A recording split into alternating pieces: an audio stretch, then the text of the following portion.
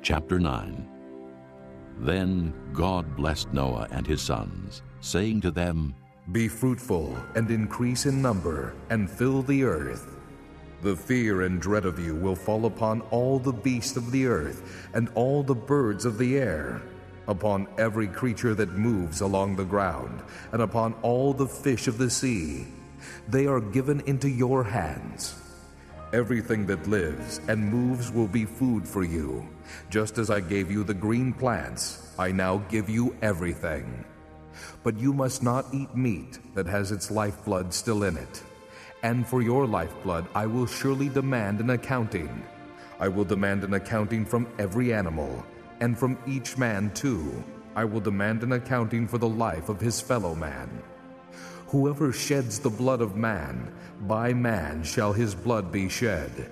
For in the image of God has God made man.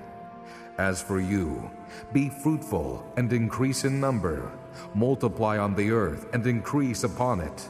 Then God said to Noah and to his sons with him, I now establish my covenant with you and with your descendants after you, and with every living creature that was with you the birds, the livestock, and all the wild animals, all those that came out of the ark with you, every living creature on earth. I establish my covenant with you. Never again will all life be cut off by the waters of a flood.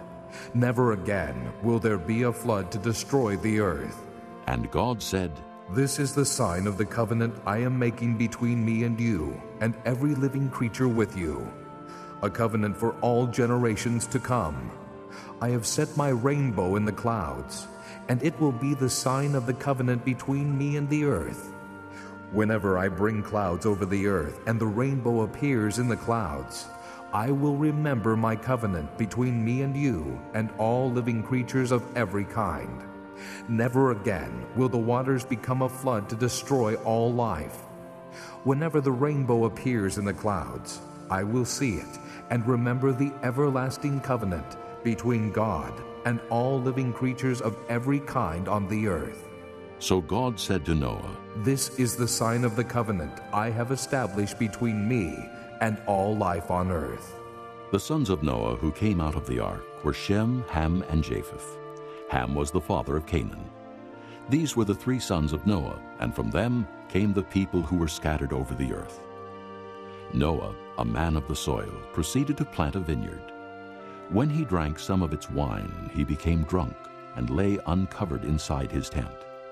Ham, the father of Canaan, saw his father's nakedness and told his two brothers outside. But Shem and Japheth took a garment and laid it across their shoulders.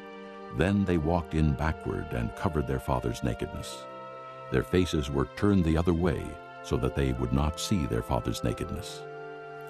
When Noah awoke from his wine and found out what his youngest son had done to him, he said, Cursed be Canaan, the lowest of slaves will he be to his brothers. He also said, Blessed be the Lord, the God of Shem.